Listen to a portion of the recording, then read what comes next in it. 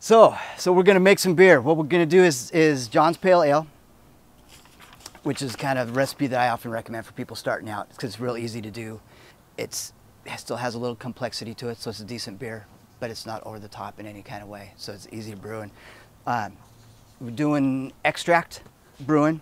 Um, more specifically, it's extract with, with steeping grains, which is kind of probably the most common way to start out. There's, there's extract by itself, which is basically somebody has made this syrup and you just mix it with water and, and cook it and, and ferment it and go. The more advanced, like what breweries do, is called all grain, where they're using grain and they're basically making their own extract. And that requires extra hardware and um, being real precise on no, uh, temperatures and things like that. So the best way to start out is where somebody else has done that mash and the hard part for you. So that's what we're going to be doing. Um, I have some, a, couple gallons of water I have up in the front uh, right now in the refrigerator getting cold. So, um, it's real helpful to have some for the later part of the process that's already cold to keep from cooling down. So first thing I'm going to do is pop our yeast pack. I'm using Wyeast Pack, which is a smack pack. Um, it's a liquid yeast, and it just needs to activate. And there's a little activator pack in there. And we're gonna set this aside, let it warm up. It's gonna swell while we're brewing. And there's other types that you don't have to do that to. There's another one called Imperial that I sell a lot of that I really like a lot. It's a great yeast. There's also dry yeast that um, if you use dry yeast, it's good to, to rehydrate it. Um, and it's good yeast as well. Sometimes keeps a little bit longer than liquid yeast, but liquid yeast, because it's liquid, it's, it's already live and it's uh, just basically raring to go. So first thing I'm gonna do is start heating up some water and we're gonna basically steep our grains in the water. We're gonna get this up in about the 150, 170 degree range. I usually start with about two, two and a half gallons, sometimes as much as three. We're gonna be adding the extract to it later, so we wanna be careful we don't get this too full, but as much as, as I can be boiling, better off we'll be. I got these from the store, but you can use tap water. I just don't have real easy access to tap water down here, but if I'm brewing like this at home, I'll often fill these up.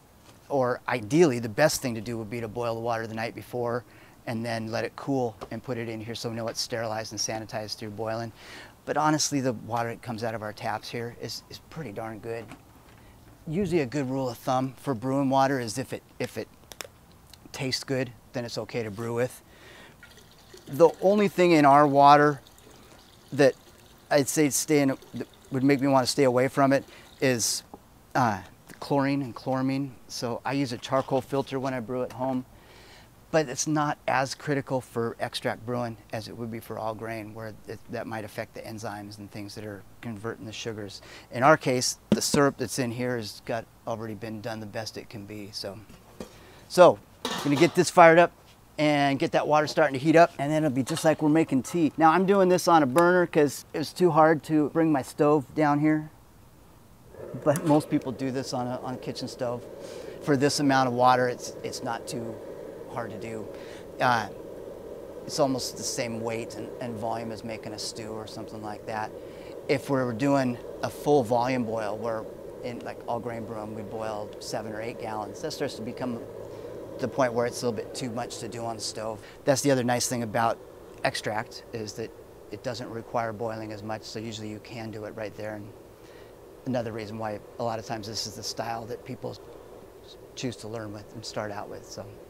And I got my fancy thermometer right here.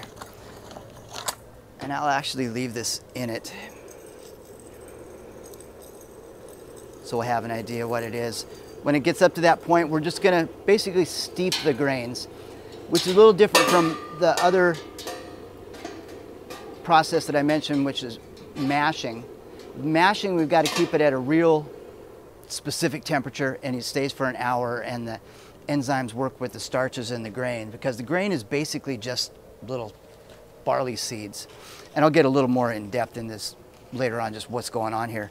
But these, each of these seeds wants to become a plant and there's starches and enzymes in there that'll help feed that. And part of the that's malted to begin with. Part of that process is to prepare those things to convert more to sugars that we can use for brewing. But then when it's held in the exact right temperature of water, those enzymes turn them into the right kind of sugars that the yeast want to eat for us. So, and that would be the mashing process. But like I said, that requires uh, a mash tun to hold it at that temperature. So that's where we're going to use the grains. So we can kind of think of grains as two different types. There's base grains, which is where most of the sugars that come come from in the beer, and then there's specialty grains, which is where most of the colors and the flavors come from. And the biggest difference is how it's been malted. Base grains are usually really light in color. What we've got here, um, they're they're all malted, which is like they're, they're being tricked into germinating where they get all those things ready. But then after that, they're kilned in, in order to get the different colors. This is kilned really lightly. This is an example of a specialty malt that's been kilned a little bit more. The more you do it, the, the less the sugars are able to be fermentable. So the majority of the beer is a real light, even the darkest beer is a real light grain uh, that can really easily convert the sugars. These, these sugars will typically retain after fermentation, so the yeast can't eat them as well. Um, so it might be 80 or 90% of the beer is this type of thing, but all of the special stuff comes from these. Uh, and that's true. So this, this is especially malt that's been, been kilned at a real high temperature for a short amount of time. They call them flash kilned. So you get a, a, real crystallized flavor. Chocolate malts and black barley show the, the other end of it where they're, these would be at a high temperature for a long time. So they get a lot of color. And it doesn't take much of it all to make that those dark beers with these type of grains. So uh, it, it's interesting though that they're all two-row barley. It all came from the same plant. Uh, sometimes we'll use wheat and a few other things in it as well. So in this one, if we look at the recipe, um, we've got six and a half pounds of gold light extract. That's where basically all made from the pale malt and lots of the sugars that we're going to need. So that's the bulk of the base of the beer. The specialty grains that we have are half pound of Crystal 40, half pound of Carapils. Um, Crystal 40 is like this one. This is a Crystal 60. That number indicates the darkness of it. So sometimes you see a recipe that has uh, 20. The L stands for Lovibond and Lovibond is just the, I think the guy that invented the scale. So um, crystal malts come in 10, 20, 40, 60, 80 varying darknesses. I don't want this to be a real dark beer, so we're using crystal 40 in it. Crystal 60 is not unusual in this kind of beer. Some nice stouts use crystal 120. And as the numbers, in addition to getting darker, they get a little bit more robust mouth flavor and things. They get more plum kind of flavors and things like that. Uh, chocolate malt at this color, that's going to be 350 Lovibond. And then black barley is going to be usually around 450 or 500 Lovibond. And that's about as dark as it gets. There's one kind that's 550 Lovibond, real dark. Um, black barley is actually kind of unique. There, there's two grains. One is called roasted barley and then black barley that are not malted. They're just kilned. And because of that, the malting gives you kind of a sweetest, sweetness to the flavor. Um, if it's not malted and just kiln, you get a little bit more edginess to the flavor. And so a lot of times stouts or those real dark beers will use a balance between the two of them. And that's what makes different stouts and different porters taste different is they'll have different balance between the malted barleys that are dark and the unmalted barleys that are dark. So that's kind of a cool thing. This beer doesn't have anything like that. So, so what we're gonna have is the half pound of Crystal 40, half pound of Carapils. Carapils really is just for, uh, adds a little bit of mouthfeel and head retention. It's real similar to a Crystal 10 Lovibond, but it's even lighter than that. So it heats up nice and fast on that kettle. So um, steeping bag is basically just like a big tea bag. Uh, all of the, my recipes I have set up either for extract that walks through all of these steps that we're going through, or for the all grain brewer, it would show the recipe for them without having the extract and what they would do. I usually put as much instructions there because usually that's a more advanced brewer uh, who's gonna. who doesn't need all the instructions, they just need the numbers that we're trying to hit and that sort of thing. So these bags come in different styles. There's some that are disposable that basically just use once and throw out. This is a reusable one, and I like this because then there's not as much waste. But it is sometimes a pain to clean these. So basically we're just gonna put our steeping grains into there.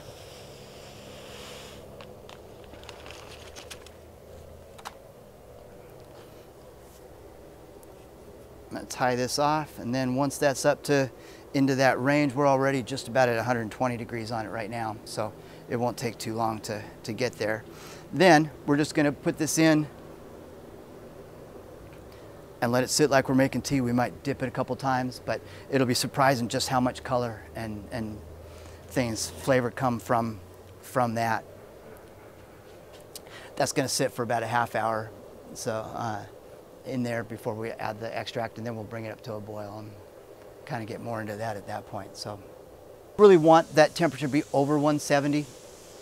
If we start getting up in the 180 degree range, then you start running the risk of pulling tannins and astringent flavors out of the, the husk material that's here. So um, some people, 170 is a good target range. Over 170 is still okay. But that's why on the sheets I usually say 160 to 170 because that gives you about 10 degrees leeway on either side. And you're still gonna have good results and big window to fall into. All right, we are gonna shut that off. It's actually about 176. That'll be okay. Like I said, we don't wanna be over 180. It's gonna cool pretty quickly in here. This is basically just gonna go in here. I'm gonna put it in and you'll see it pretty quickly start to to color the water and, and uh, start turning into much more beer colored thing even just in this amount of time. So I'll come back in the, in the process of this a couple times and, and we'll lift it out of here. The main thing is we want to make sure that all of the grain gets wetted in there. Um, then the other thing that I'll usually do at this point is I used to have a, like closed clips that I clip onto this. In this case, I don't have that with me here. I'm just gonna tuck it over there put the lid back on so that way there's a piece that's comfortable to grab a hold of. It, it's not a problem if all of this goes in, except for the fact that that's hot water I'd be reaching down into. And, and I like to try to avoid that. So, all right, so we're gonna give that about a half hour or so. Pretty wide windows. That's another nice thing about extract brewing is that our temperature windows are wide, our time windows are wide. Nothing has to be real precise like it does if we're doing all grain brewing. See what this looks like here now. You can see it almost looks like beer just as it is right now. It's pretty amazing when doing this with the dark grains, just how dark that will get just from having this amount of it in there. Eh, I may do that one or two more times as we go along just to make sure we're getting everything wetted. So, we still got 21 minutes let it sit if I was doing this at home, I'd have the benefit of being on a stove and having other burners. And I would have heated up a little bit more water uh, on that other burner up to that 160, 170 degree range in order to rinse these grains. Um, I didn't do that. I'm still gonna rinse them a little bit just with the water we've got. It's been sitting out here in this heat, so it's gotta be close to 170 degrees, right? Um, and basically what the goal is, it's not something that we really have to do, but uh, the goal would be that there's, there's some of those sugars and flavors that are still in this and, and I want to be able to rinse those out and get all the mileage out of it. I still remember Larry's thing that he said was, you paid for that, you might as well get everything out of it. I don't know why that sticks with me 20 some years later, but. So I'm just gonna rinse it a little bit more though, and then we're gonna go ahead and move our, put our extract into there. And then I'm just gonna set this aside. So right now I'm just basically rinsing this. Obviously hot water is gonna rinse it better, but we're still getting a little bit out of it just with doing this. So goal is leave as little of that stuff behind as possible so that way we get as much of it into our beer as possible. And then we'll set this aside later on, clean that so that way I can reuse that. Next step, we're gonna get this extract in and definitely notice I'm doing this before we're turning the heat back on. If on the stove, we wanna make sure we're not on a burner or something. So that way it doesn't scorch. It's heavier, so it's going to fall straight to the bottom. And uh, if, if the heat was on, then it, it will scorch and burn and we'll have these black flakes in there. So real important that we're going to add this in. We're going to make sure it all gets dissolved in here before we turn the heat on. You see it's basically our syrup. Nice. It's always going to be a little darker just because of the condensing, consolidating process. And I'll probably scrape that a little bit to make sure we get everything out of there. Sometimes people put a little bit of hot water in this and shake it around and that's fine also just to, to try to make sure we get all of it out of there. I usually just do it by scraping and, and if a little bit's in there, it's not the end of the world. We got big windows to we can fall into here. This is also another reason why I kind of like these paddles that have the flat sides. Also at this point, sanitization isn't a big issue because everything here is going to get boiled, so it's all going to get sanitized through the boil. Later on, in the process, that does definitely start to get to be more and more important. Just keep stirring and stirring. I can feel when I go through here, I can kind of lift it up and you can see the extract on the bottom there. That's how I know that it's still needs to be dissolved a little bit more. I'm basically going to keep doing until I can do that and not pick up anything from the bottom. The fact that that water is still pretty hot, that helps to, to dissolve it a little bit faster, but it takes a little bit.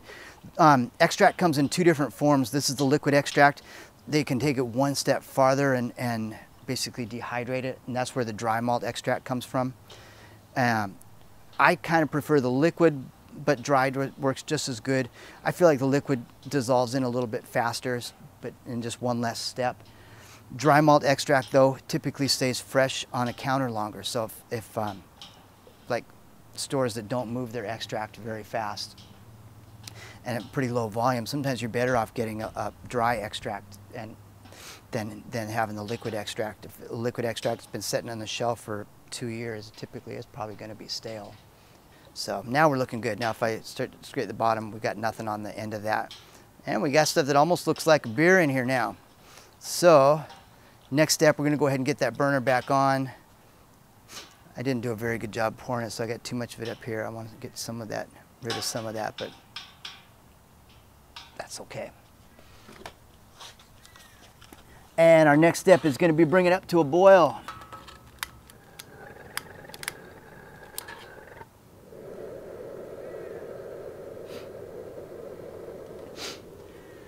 Which this often takes a little while, but with how fast it heated up earlier, I think we'll probably it probably won't be too bad. Uh, this is a, a, pretty critical part of, of staying close to the kettle. Uh, because while it seems like it takes forever, if you were to step away from it, that's when it's going to boil over. Absolutely. Um, don't necessarily have to be really stirring it the whole time. I'm going to give it a little bit more just to really make sure that everything did get fully mixed in. And now that I've left it for a little bit, nothing's settled down to the bottom. As it starts getting close to boiling, there's going to be a layer of foam that appears on top of it. It's called the hot break. And the hot break uh, is, is proteins that start to coagulate uh, in it. And It's both happening inside the wort. At this point, this is called wort. Wort is like pre-beer, all right up to the point where we add the yeast. And at that point, as soon as you add the yeast, then it's beer after that. So right now we're making wort, then trying to make it as good quality yeast food as we can. That hot break is, is a pretty important part of it. We want to have a good solid hot break. That layer of foam that's on the top of it, I prefer to just stir it and let it dissipate back into the beer. Um, some people though prefer to, to scoop that off and set it aside or throw it aside. Um, different things, read it. I've known really good brewers that get rid of it. I've known really good brewers that don't. My preference is to not get rid of it and let it fall back in. Um, later on when we move to the fermenter, I'm going to pour through a um, strainer and that'll catch some of that, those solid particles at that point. But if they get into the fermenter, it's not the end of the world either. That layer of foam that's going to happen here as we start getting close to a boil is, I, I usually will start poking little holes in it because it can act like a lid on the surface of it and it can go from not quite boiling to really boiling really fast.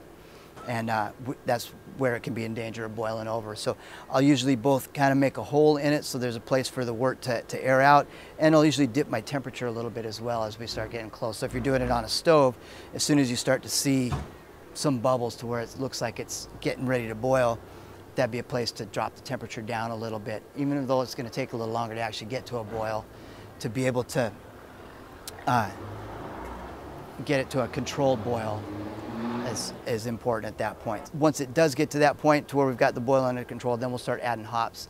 It's interesting, you can see the, the proteins coagulating in here right now as it's, as it's coming up. It's not starting to foam, but sometimes it almost looks like it'll start looking like egg noodle soup as they start getting solid and, and uh, all of those solids eventually end up dropping back out, but definitely something you want to see in good healthy wort. And it also is, is cycling stuff around, so I could can stir it right now, but it's kind of doing some of that on its own. Now we're getting some more stuff going here too. You can see that kind of almost, like I said, egg soup kind of look to it. We're still not getting any of the hot break where it's going to start foaming on top, but we're getting closer.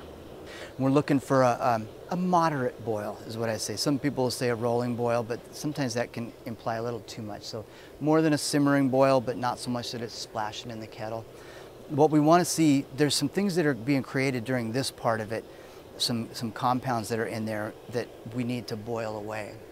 They have scientific names that really don't matter. But the long and short of it is if we have some steam coming off of this during the boil, they get volatilized away and go away and, and we don't end up with those flavors in the end product. So that's really the main goal of the, the quality of the boil is to make sure that they're being volatilized away. The other main thing we're doing in the boil is one, sterilizing, but that really happens in 15 minutes. The biggest part of it, and the reason we do a 60 minute boil is to have to do with the utilization of the hops. We get a little bit of foam on the top now. So that layer is gonna get thicker and thicker as we get closer to boiling. You see that it's starting to boil in here. So I'm gonna back the, this down just a little bit so that way we don't, doesn't take off on me I'm still not going to start the timer. I'm going to want to let this all dissipate back in uh, and, and just sort of get to where the boil's under control and I don't have to constantly manage the temp. So we'll still give it a little bit more time. Also, when we add hops, sometimes we'll get another buildup of foam right at that point. And so if I was to dump them in right now, it'd kind of double up on me and, and uh, it's a mess to clean up. Lose beer and could burn yourself too. I mean, there's definitely some danger to that. But, but we're starting to get to a good boil, and we've got some steam coming off of here. You can see in the areas where it's boiling that the uh, that hot break layer of foam on the top is starting to dissipate back in a little bit. And, and, as time goes along, I'll stir this a little bit too, and that'll kind of help it drop back in. And, and there may be a little bit of a layer of it during the whole boil. So my goal at this point now is just to get it to where that boil is under control and boiling at a level that I want it boiling at. Um, that's a pretty good boil right there as far as that goes. But being that I just turned the temp down, it could fluctuate a little bit here. So once we feel comfortable with that, then we'll start going into the hops and talk about just what hops do. Main job of the, of the hops is preservative. That's how they were first discovered and first used before we realized that the flavors that they lent to it were real good. And on our recipe, we've got 60 minute addition hops, and we have five minute addition of hops. There's a lot of different elements that, that hops are going to give us. At this particular edition, the primary thing is bittering that we're going to get from them. And that is what really balances the maltiness of the beer. If you got a beer that's got a lot more malt in it, typically we can really increase the level of the bittering hops in order to keep that balance. Uh, a real light beer that doesn't have much in the way of maltiness, typically we're not going to want very much of the bittering. That's also a personal thing too. Some people like more, some people like less. Um, this particular beer is not particularly bitter. Just going to use a half ounce of Chinook.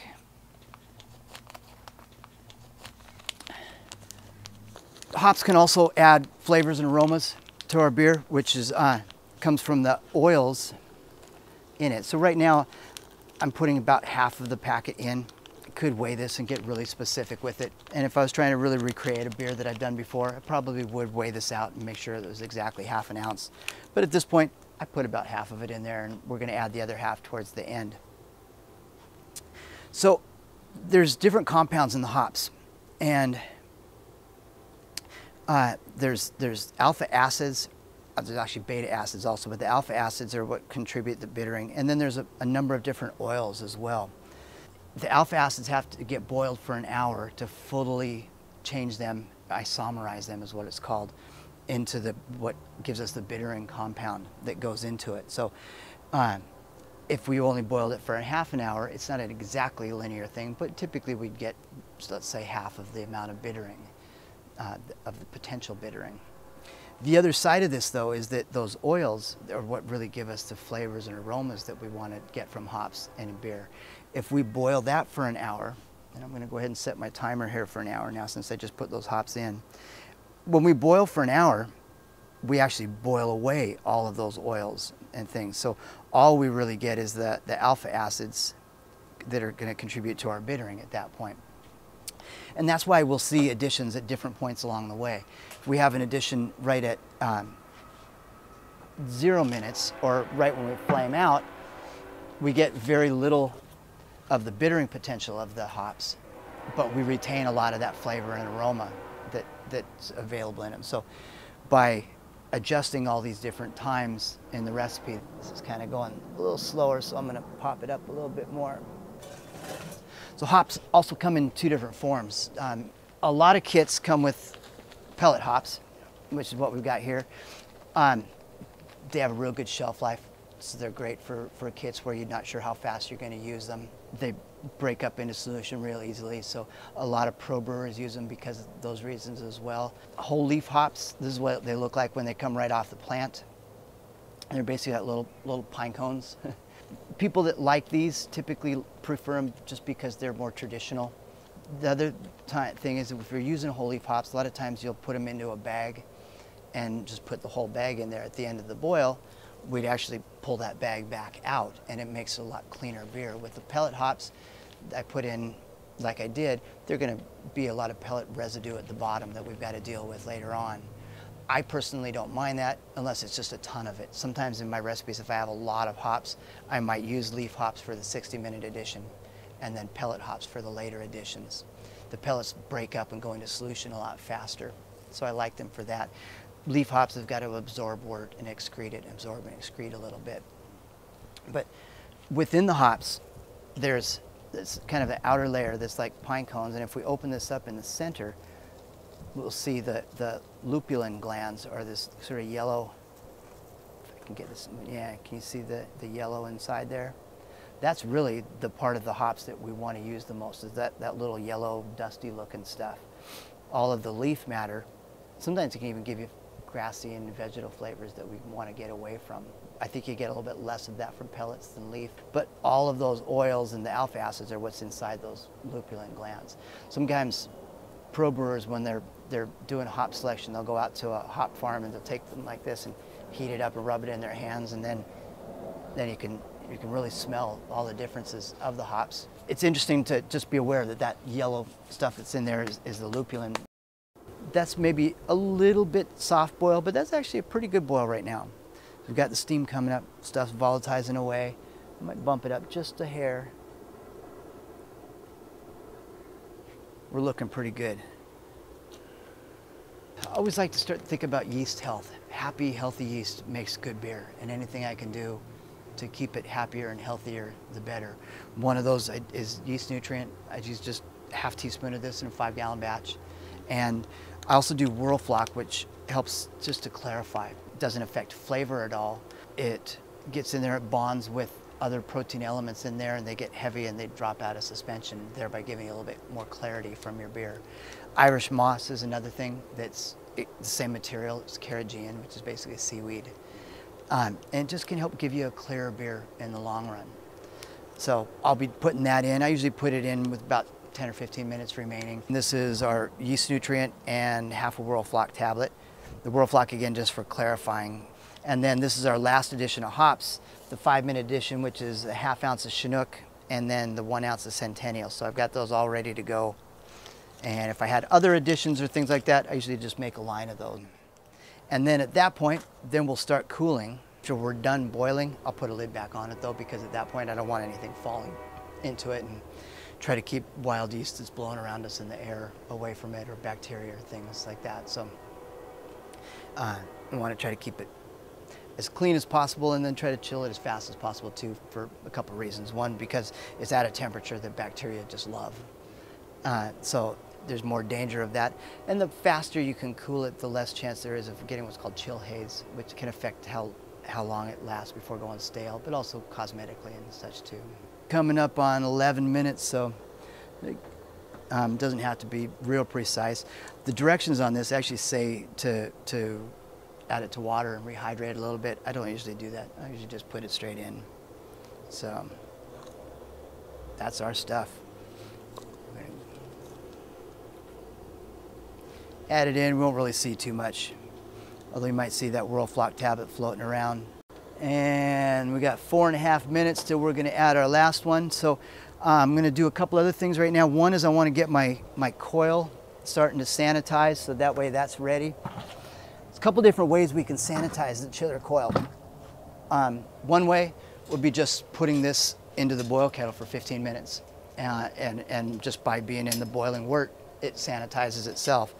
Um, it also gets hot though, and it's sometimes hard to work with because it's been sitting in that. So I usually will just put it down in my Star San sanitizing mixture that I've got here. Really only needs two minutes of contact time in here. So, but that's, at this point, we've got to really be thinking about everything that's going to touch our beer after this needs to be sanitized. Two minutes of contact time in the Star San. Iodine-based sanitizer works just the same as well. I like the Star San because you can make a bucket of it and keep it mixed up.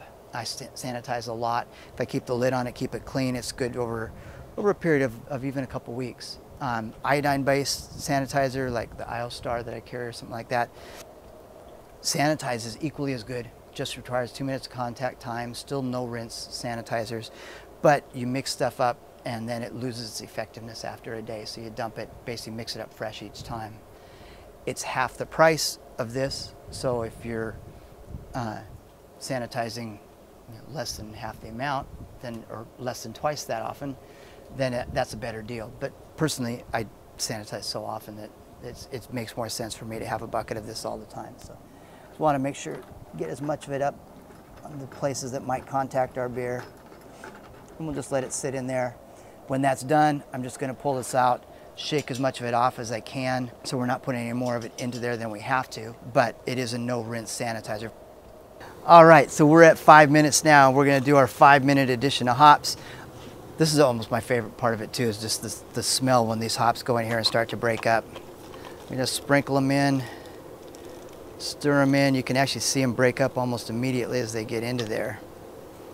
All right, and that'll get down in there as it gets boiling as well. So it's actually starting to foam up a little bit. So I'm gonna just stir it, just make sure we don't have the boil get out of control while those hops are still dissipating in there.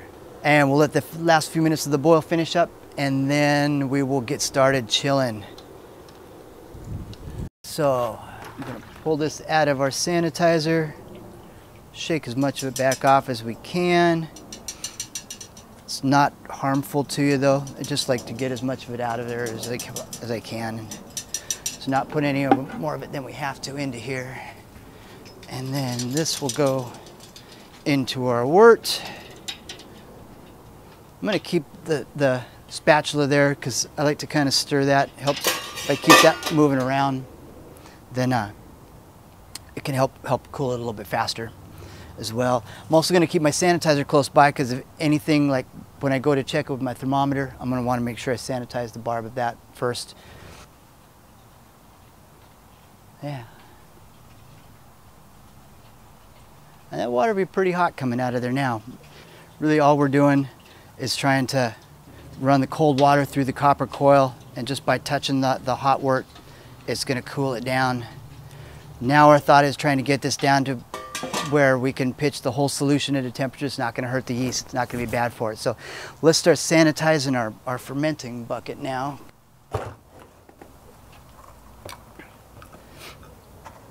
Since we got to sanitize the bucket anyway, it's a great place to sanitize anything else we might be using, which is like the airlock.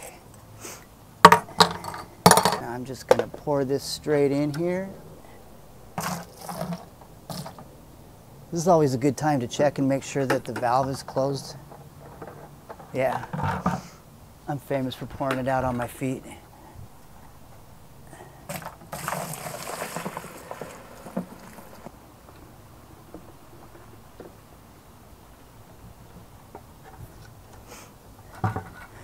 Really just needs three minutes of contact time. I'm going to use my hands just to make sure all the parts of the bucket had some on it. When I pour it back out of here, I'll also turn this just to make sure that it pours out through all of the spots of the bucket. But the whole goal here is to make sure that all the parts, every part gets touched for at least two minutes, including the lid.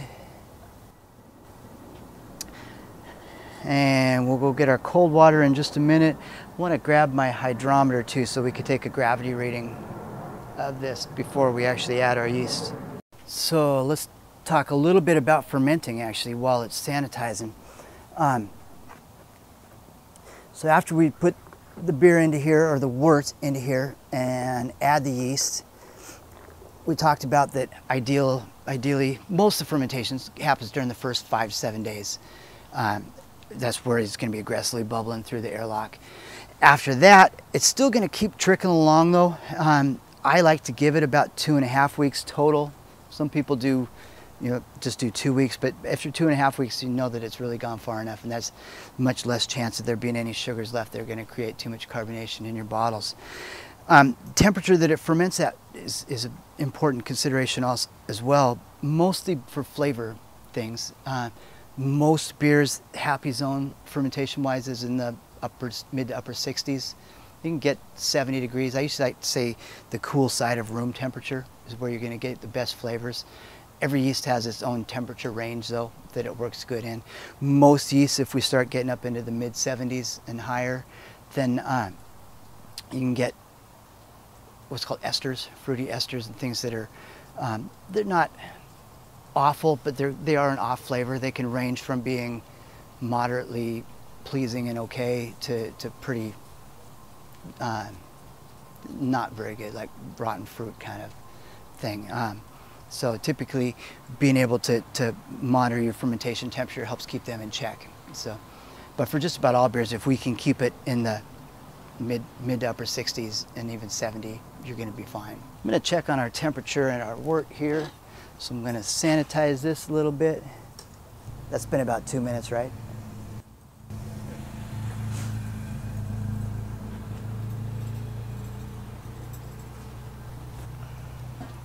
Let's see where we're at here. We're probably still pretty warm right now. This chiller is actually stretched out because I used to use it for doing bigger batches. It's already gone from 220 down to about 112, so we're making good progress. But it's probably not the most efficient for doing this small amount. But it'll get us there, especially when we got all that cold water to add to it. So I'm gonna pour this back in here. First thing I'm gonna do is just run a little through the spigot. That way we get some contact time of sanitizer down in there. The sanitizer foams up a lot, but that can be beneficial in a couple different ways. Star San has a saying, which is a great sales slogan, says, don't fear the foam. Uh, I don't like the foam, so I try not to fear it though. Uh, so I try to get as much of it back out as I can, but I'm not going to rinse it. Again, I'm going to maintain the, the, no rinsing kind of thing. And then just try to get as much of the foam back off. They say it's a yeast nutrient, so it's actually can be good for the, the yeast and the beer that's in here. They also um, say that it can get into nooks and crannies and places. So like the areas around our ball valve that, um, you know, that maybe might not have gotten in good, or if you're sanitizing kegs or things that they can that foam can get into areas where if it was just liquid, it wouldn't. So I'll buy that. Uh, now when I pour out of here, I'm gonna just kind of turn this again. So trying to make sure that we had that sanitizer in contact with all the different parts of the bucket.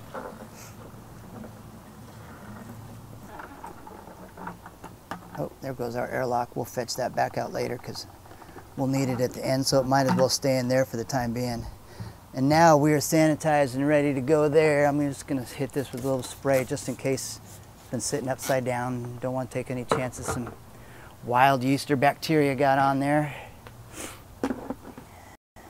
We definitely want oxygen in the beer um, in order to help the yeast. That's something that the yeast definitely needs.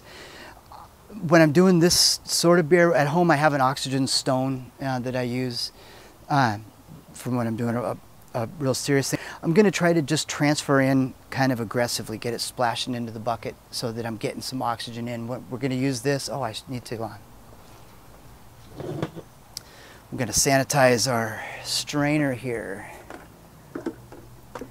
Again, anything that touches the beer has got to be sanitized. So um, that breaks it up into a lot of pieces. So a lot of different parts of the of the beer can get oxygen contact at that point. So I get a lot of oxygen in there. If I don't feel like I've got a good enough foam layer, I'll probably use the, the paddle and, and stir it and, and that. Sometimes people will pour it back and forth between the boil kettle and things.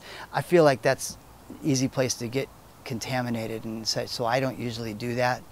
But just just giving some thought to how can I make sure I've got enough oxygen mixed in with this is the best thing to help the yeast be happy and healthy moving forward. Also have a thermometer on the fermenting bucket. It's a contact one, so this is going to give us a pretty good idea of what the temperature is inside. Definitely want to make sure that it's below 80 degrees when I pitch the yeast. So once we get it mixed up, if it's still up this high, I'm going to wait a little while. Ideally, I want to pitch around 70 degrees. Uh, my preference is usually to even pitch a little bit cooler than that if I can, and then let it warm up to what my normal fermentation temperature is. So we'll take a look at that once we get everything into here. I think when we get down to about 85 degrees or so, maybe, maybe 90 in there, we'll go ahead and move it into the bucket.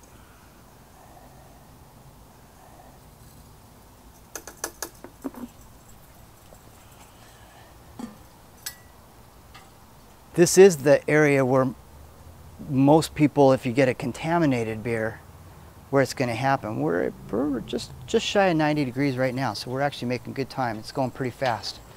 Um, but just missing one thing that, that didn't get cleaned and sanitized, uh, I think it's been a long time since I had an infected batch, but one I can think back on.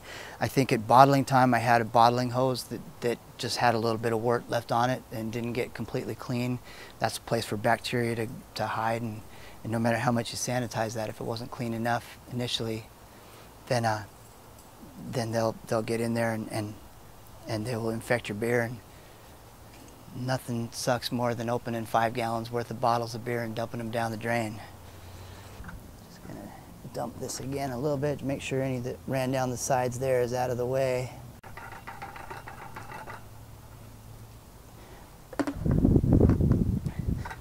My usual practice here is, is I'll just about always add a gallon of cold water to begin with. In a plastic bucket, this isn't a big deal and we're cooled off quite a bit here. But if we were in a glass carboy, and if we had the wort too hot going into the glass carboy, it could break it, just the thermal shock, and that can be real dangerous. So if we had a, a gallon of water already in it that's cool, when that hits it, it's not gonna be as hot on the glass. So in this case, I know we're gonna need at least a gallon. We're probably gonna need two, maybe even two and a half. And uh, we'll top the rest of that off later. But that gives us a good starting point.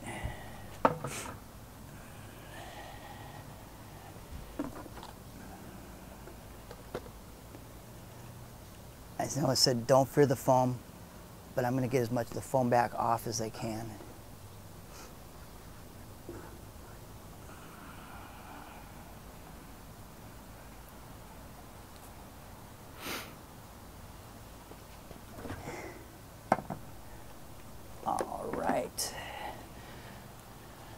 think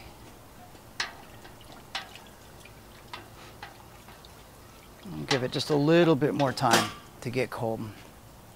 Just check it one last time before we before we go dumping, make sure I'm not getting ahead of myself.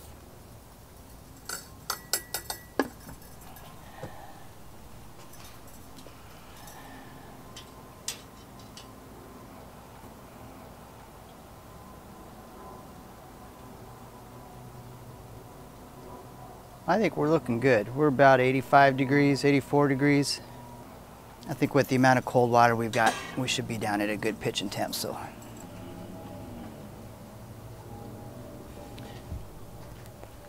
So we're gonna pull the chiller out.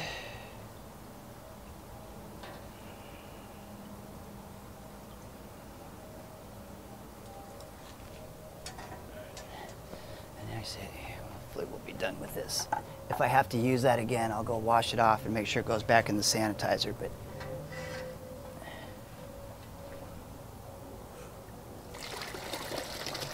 So you can see the hot break and hop matter is going to be building up in the in the strainer and I may use that paddle to uh, to kind of help clear the strainer a little bit. We've got a pretty good layer of foam from pouring through that. So we'll give that a minute to run through and then uh, when we get the paddle back, I'll sanitize that. And uh, as we stir that up, that'll keep running through a little easier. Right now, the strainer is just all bound up.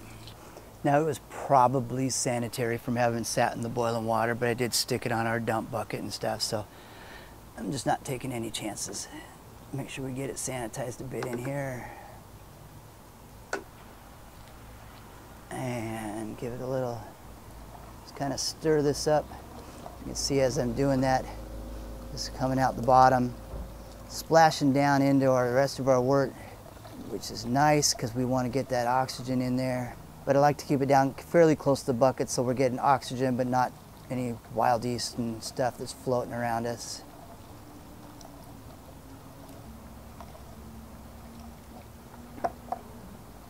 It's pretty concentrated at this point because we were working with the malt extract which was concentrated and we didn't add all our full amount of water in our boil so that we could do it with a smaller boil kettle. So the, the water that we're going to add to it to top it off now will actually bring it to what the proper concentration level should be, which is why we're going to wait to take our gravity reading until, until that point.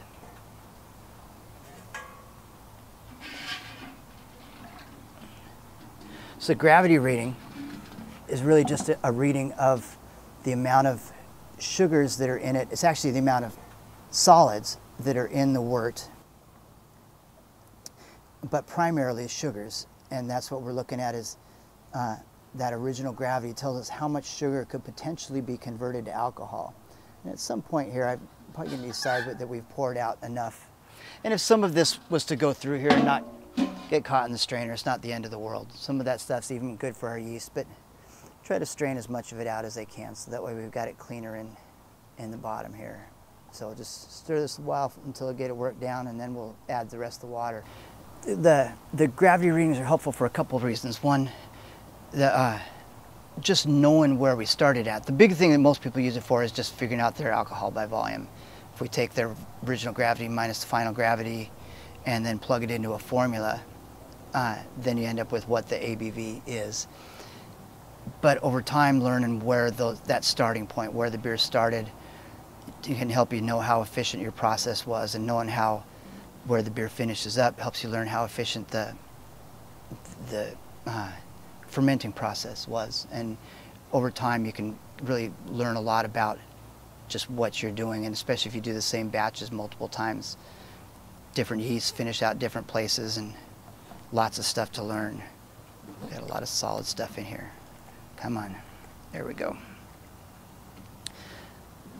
But for most people and, and everybody, it's nice to know what your alcohol content is. First thing that anybody's going to ask you when you hand them a, can, a bottle of homebrew, they say, "Whoa, what's the alcohol content on this?" And, and they're usually surprised when you tell them it's five and a half percent or something.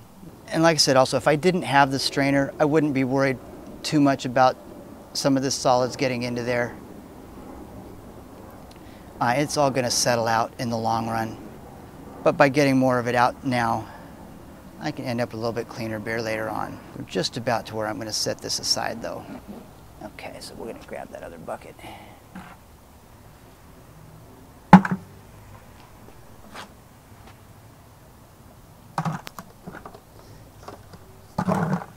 And we'll add some more water here. Oh, not that water. We want this water. We want the cold water. What's our temp reading on that right now? 476. Nice. We're gonna be in a real good spot. When I pour this in, I'm gonna pour it relatively aggressively. We wanna see that good layer of foam on top of the, the wort in there. That tells us we got good amount of oxygen into it. And then this bucket has a five gallon mark on this side over here. So I'm gonna be watching that and we're just gonna fill it up to that point. So one more gallon ought to do it.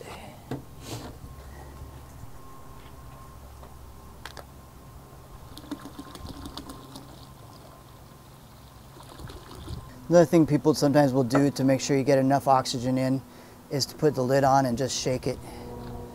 Uh, I haven't had great results with that. Oftentimes if I've done it like with a carboy, it seems like the bung pops out and I get stuff everywhere or I don't have the hole in the airlock lid covered up good enough and it gets everywhere. And just by looking at the top, I feel like we've got a good amount of oxygen in it now. So we're looking good. Just a little bit more water.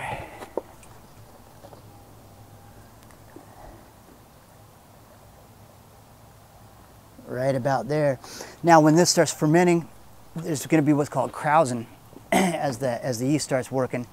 So it's good to have this good amount of headspace in here for that krausen to form. If we were doing this, say, in a five gallon bucket or five and a half gallon, there's really not enough room and there's danger of that coming up into the airlock.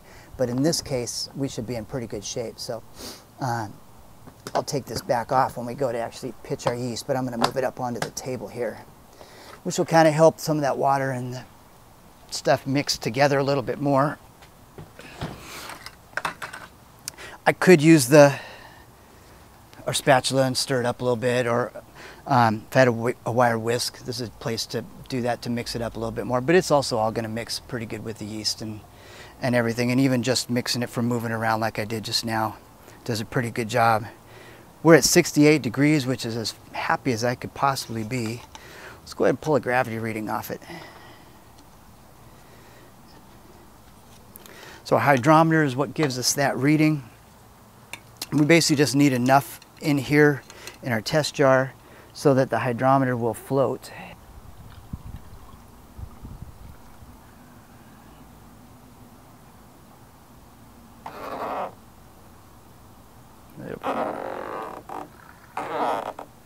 I also like to taste this.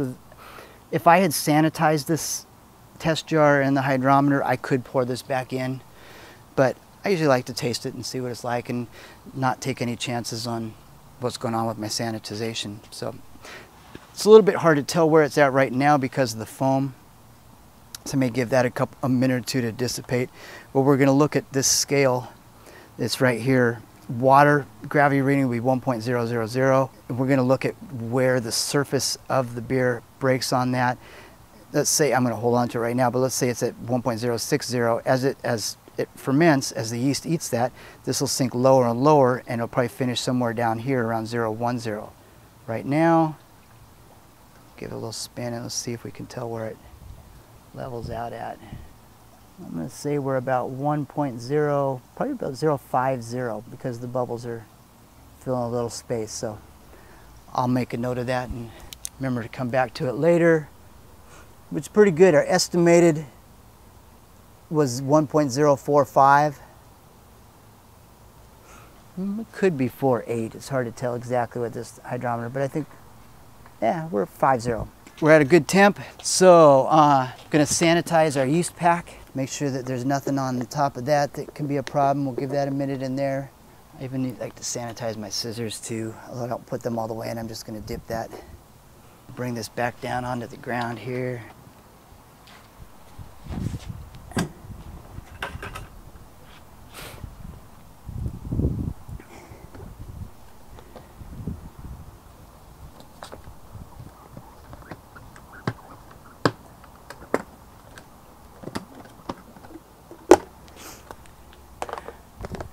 Now with these smack packs, I like to just cut the corners.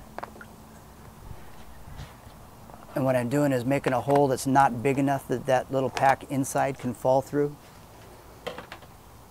Otherwise you pour it right in. And we're just pitching our yeast right there. This corner allows it to flow out easily and not just come bubbling out. Squeeze it, make sure it's all out of there. I don't do any stirring at this point at all. I'm just gonna let that yeast find its way and, uh, and it'll do its thing. Spray that off just to be safe. Lid goes on really solid, probably the most common thing that I hear from people who are concerned their yeast never took off. We find out that their lid wasn't on solid. Instead of seeing bubbles in their airlock, you actually find out that it's venting out one part of the lid. And everything is good. And they're always happy to find out that everything is okay. It's not ruined. We're gonna leave, since we're in here, leave sanitizing solution in the airlock. You could just use water or clear spirits or some kind in there, but since we had to be in the sanitizer anyway, I'm gonna do that. That goes right into our lid right there. Right there, I'm gonna get it home, get it in a cool place in the house. Wait a little while and then we drink beer. And that's pretty much it.